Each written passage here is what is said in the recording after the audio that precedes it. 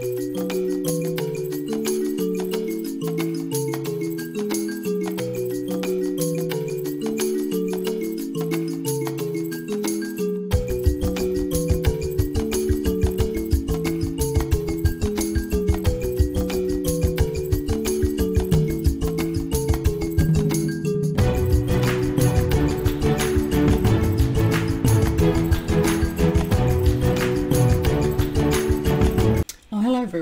Again from Esoteric Trading Solutions. I hope you're all well. I hope you're looking after yourself, being kind to yourself, being kind to your family and friends, being kind to your beautiful animals, your putty cats, uh, being kind to all animals in the world, being kind to the environment. Uh, obviously, we've seen a lot of climate change lately, which obviously is due to change in the environment. That's my belief. Uh, and please just be kind to people in the world just to make this a better place.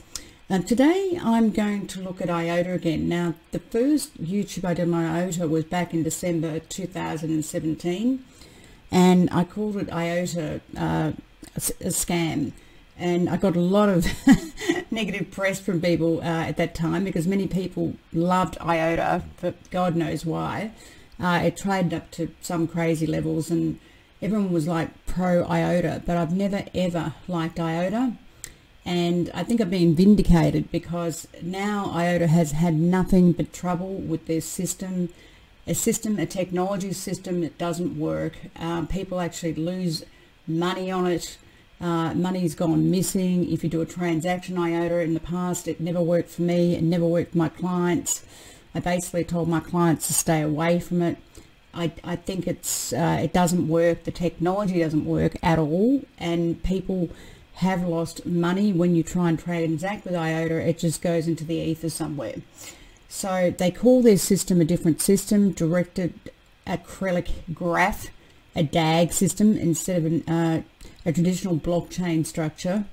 And the reality is if you listen to tech techno guys or technology guys like uh, Nick Johnson uh, from who was an Ethereum core developer basically said he had severe reservations about IOTA uh, and, and its blockchain, so-called blockchain alternative. He actually believed it didn't work and it was impossible to work because it was a completely old type of ternary that they were using, which is a bit too technical for me. But anyway, um, let me just go into this for people that don't know IOTA. Uh, they call themselves a network of things, devices using a directed acyclic graph DAG instead of a traditional blockchain structure. And this is from Messari, um, which I like. I don't get this for free, as I told you. I pay, I think, 30 US a month or something.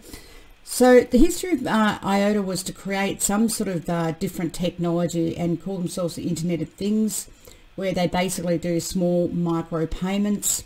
Uh, their technology, they call it a Tangle, uh, and it's supposed to act as a, a public ledger system, but honestly, they've had nothing but problems, it doesn't work. Uh, apparently it needs, you know, if you do anything on IOTA, you've got to try and uh, do, validate one of the transactions yourself as a person. They say it's feeless, but you don't pay any fees, but the reality is it's your time that you're giving up to actually validate a transaction, you as the user, which doesn't, it's never made sense to me. Uh, and honestly, I've used it and it's never worked. Never. So to me, it's it's basically, in my mind, a technology that doesn't work uh, and I said this back in December 2017 and I still believe it's a technology that doesn't work. Um, we look at the recent stories and obviously just going through, they did a launch uh, according to Messari uh, back in 2015, uh, 999.99 million IOTA and then they, they later changed its supply to 2.78 billion IOTA. Big difference from uh, 999 million to 2.78 billion and that was done uh, in 2015 November and December of 2015 so there's an outstanding supply of this uh, what's that? Quite a bit 2.779 bill. 6.6 percent went to the founders and project and, and, the rest went to investors.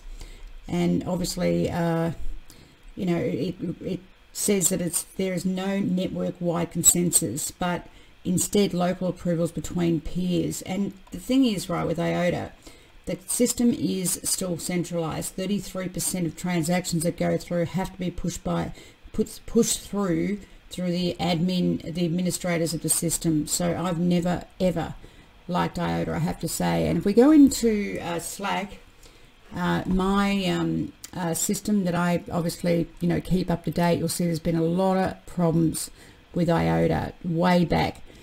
Uh, you know, to, to trust, uh, you know, to, to, trustworthiness of the platform, to basically uh, people losing their money, uh, coins uh, going lost in the ether, the mainnet being down. Uh, you know, this was back in December. it was there was some network bug, and the mainnet was down for 15 hours if you look at IOTA over the time period, over time, it's been down a lot, okay? Uh, and if we just go into this, and we'll just go over this story, uh, every story, like over the last couple of years, have had nothing but issues with their technology, okay? No, more and more issues. Uh, according to GitHub submission from an IOTA developer, a bug in the Node software created, created a corrupt ledger state and uh, you know it didn't it actually didn't account for a transaction that was shared between two distinct bundles. Uh, one is marked as accounted in one bundle; it was ignored for the next bundle, right? Um, so you know the engineers took some time, like a team took at least 15 hours to fix this. The, the, the founder David Sonstebo said the bug was minor and it is really no different periods where the network had been spanned and thus transactions slow slow down significantly. Well, I don't think it was minor because the technology just doesn't work, right? Uh, over the years, there's been no, there's been nothing but trouble with this so-called technology. Um, the, the co-founder Dominic Schiener sent an email. The issue originated with the current primary mainnet node software and had nothing to do with the coordinator. A special node that operates from the foundation, which is responsible for the final confirmation of transactions on IOTAs. I wouldn't say decentralized, centralized network known as the Tangle. Now, this is what I said. Basically, the administrators and the founders have to basically validate or push through transactions because they don't have enough transactions going through the system for independent uh, validators. So really, uh, the IOTA system is not decentralized at all. It is a centralized system, and honestly, over time, they have had nothing but trouble with this technology, and I just don't believe this technology works. And uh, I can show you reports uh, to that to that degree. And interestingly enough, uh, if you look at my YouTube from December 2017, which goes into a lot more detail, it's pretty much nothing has changed. We're now looking at 2020 clearly. So um, I just uh, and you know these uh, these found, founders have been known to be very arrogant as well, and there used to be like, and I'm sure I'm going to get flack for this YouTube because certainly last time I did an IOTA YouTube, it was like the IOTA army, and I got nothing but flack from the I, the IOTA army, you know, seriously, and um, you know, and I'm just trying to protect people because seriously, if something doesn't work, it doesn't work and people lose their coins constantly like they do with IOTA, something is just not just not right, okay? What's happening here? I'm running out of uh, out of computer grind. I must have too much stuff open. Won't be a.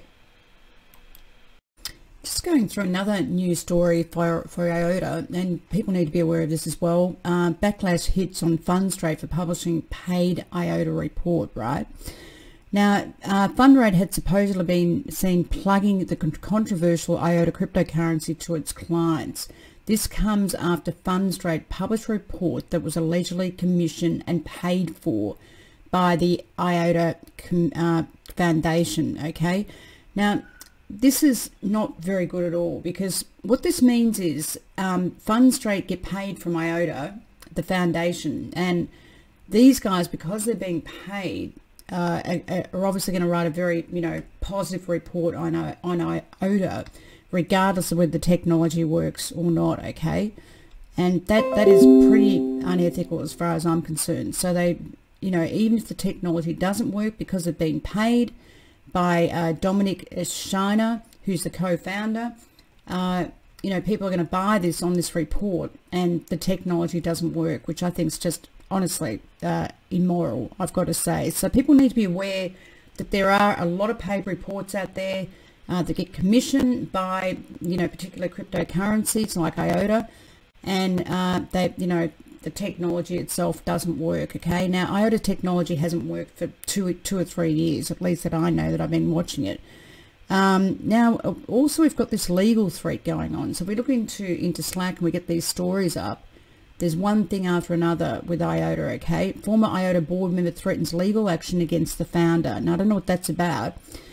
But former IOTA board member Sergei uh, Ivancheglo recently announced that he would take legal action against David Sonstebo, founder of IOTA, for refusing to release the MIOTAs under his name, which were also allegedly misappropriation of funds. Uh, apparently, there's some uh, dispute revolves around 25 million MIOTAs, worth about 7.7 million at the time of writing. Uh, was quick to respond to the allegations, claiming that it was disheartening to see his partner of six years develop cold feet and go back on the previous agreement. What does it mean by cold feet? Maybe he knows that the technology doesn't work and he wants to get out fast. Um, I have to say I'm very, when it comes to these members, uh, you know, in the past they haven't had a very good uh, reputation either. Sonstebo, uh, you know, has been very arrogant uh, to clients, I have to say, when there's been problems with IOTA, and he's just literally, you know, whitewashed everything and put it under the rug, so to speak. Uh, but seriously, um, you know, there's got to be something wrong when a partner of six years is, is now trying to sue, you know, th this person when they were supposed to be, you know, in partnerships for six years. It obviously means that they don't, they obviously don't have much of a very good relationship. So if we go to the next story, and I just want to bring this to, to people's attention, uh, you know, and this is just over the last couple of months. Uh, so obviously there's legal action going on, uh, which is, you know, not great. But uh, also, if we keep looking through, we'll find that there's even more problems with IOTA, okay? Uh, if we, the next story I'll, I'll pull up here, uh, so again, there's something not working properly and, um, you know, it hasn't even been, you know, co-founder Dominic Schiener said multiple companies want to see code tested and reviewed before they would go about integrating it. So, you know, the thing is, they haven't even really, you know, got a proper working model uh, of technology, which which bothers me, I have to say. Uh, and people need to be aware of that when they do bio, bio, buy IOTA, okay? Uh, the next story we've got is we are currently investigating a suspicious situation with Trinity. Please do not open or use Trinity on desktop until further notice. And that was on Twitter. Uh, and then we've basically got uh, IOTA Foundation investigates funds allegedly stolen from Trinity wallets. Uh, and this basically is uh, IOTA Foundation has put on warning regarding IOTA coin wallet Trinity uh, and its association with stolen funds.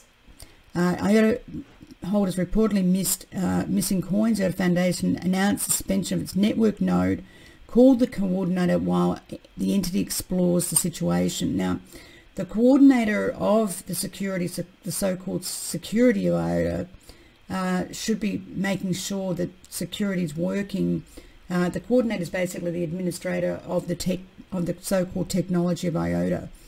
Uh, but obviously, funds and IOTA coins are still they've still gone missing even after two two or three years. Okay, so uh, again, they've still got this problem. Uh, the IOTA Foundation runs a coordinator, a node on the network to help prevent attacks.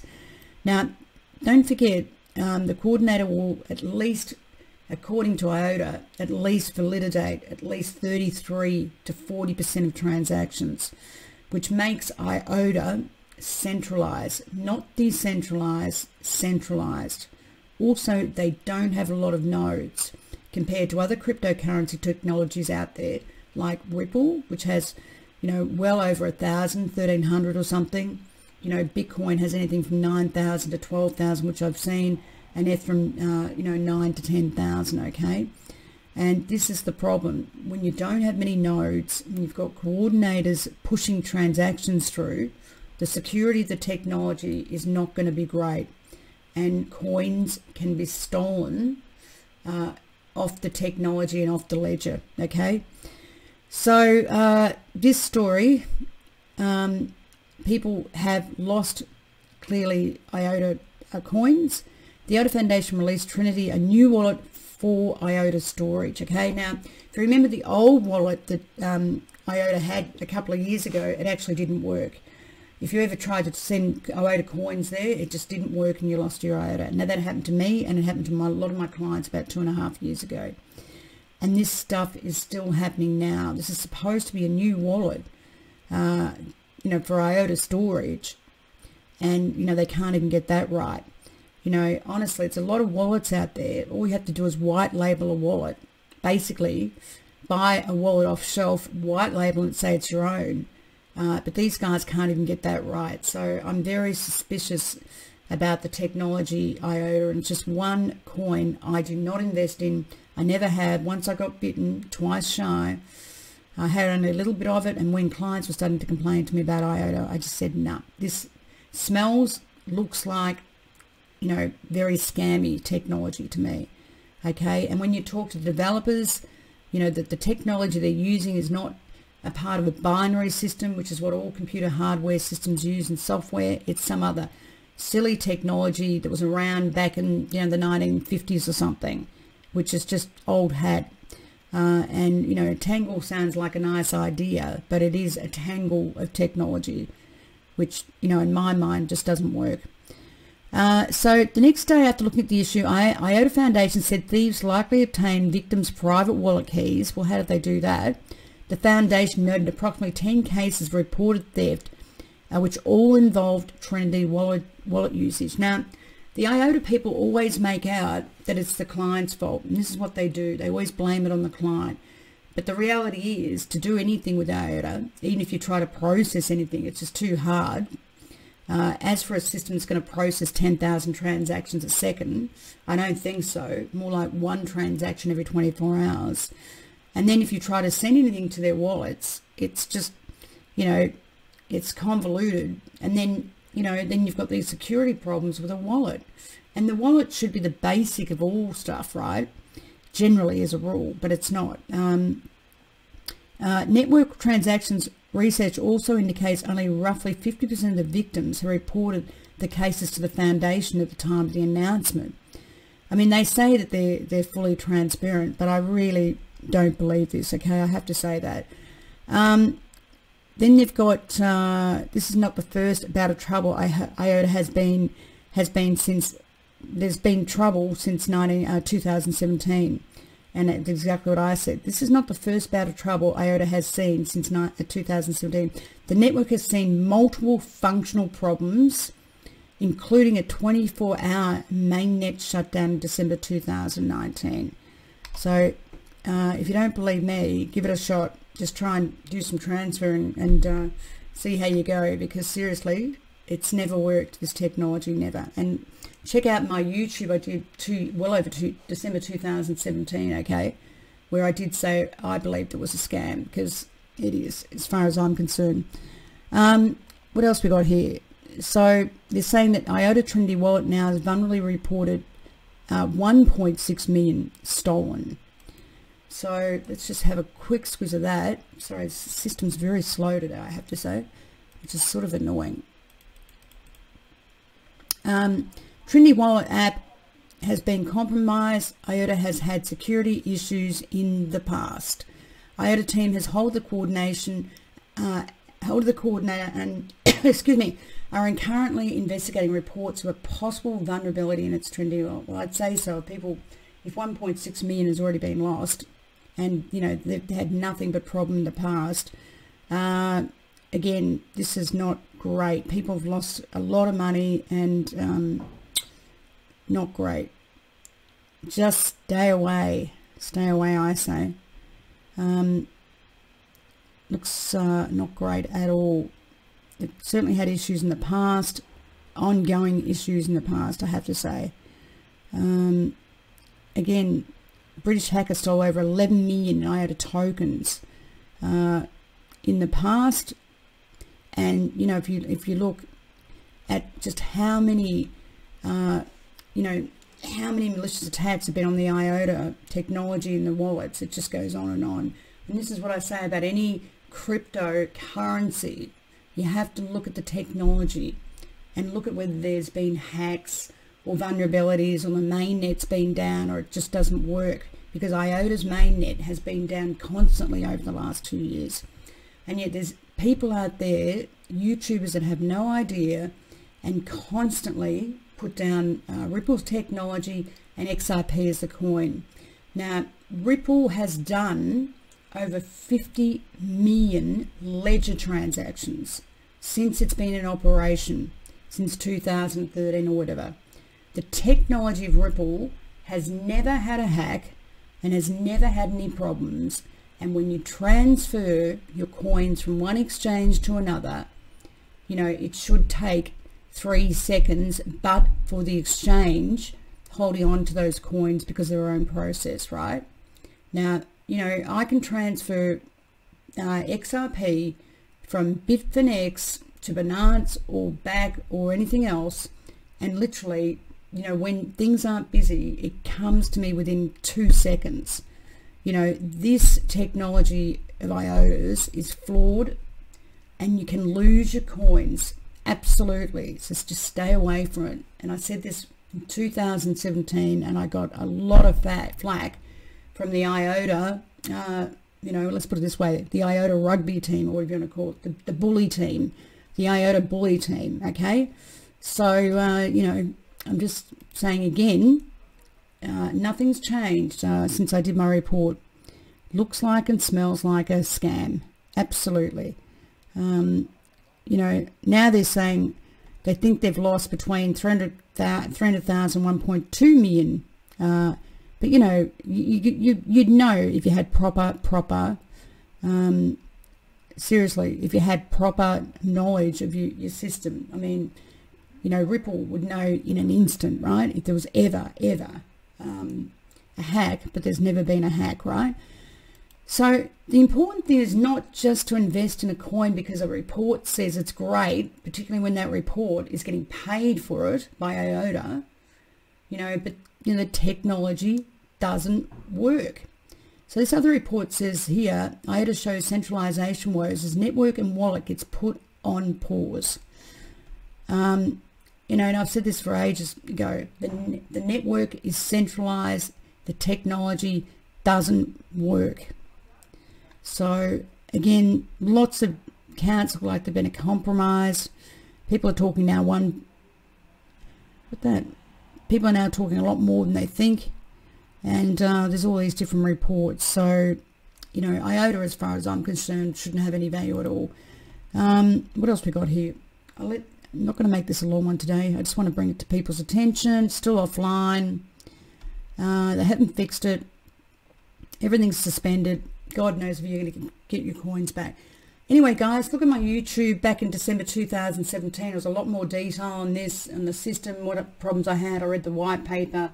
I went into it in a lot of detail, but nothing's changed for, you know, since December 2017. I always thought it was a scam. It's just you know, the evidence is there as far as I'm concerned. The technology doesn't work. Okay, guys, please do look after yourself. Be kind to yourself. Be kind to your family and friends. Be kind to you, particularly. Look after yourself, your health, your mental health, very important. Look after your beautiful putty cats. I miss my putty cats every day. I'm going back to Australia soon. Yay. March 7th, I've been in Amsterdam working here for a couple of months. Really looking forward to going home, seeing my family, all my beautiful friends uh, my beautiful putty cat Telly, my older two 18, excuse me, Ezzy and Gussie, unfortunately I had to put down last year. I miss them terribly. And please be kind to people in the world just to make this a better place. Thank you and thank you for listening.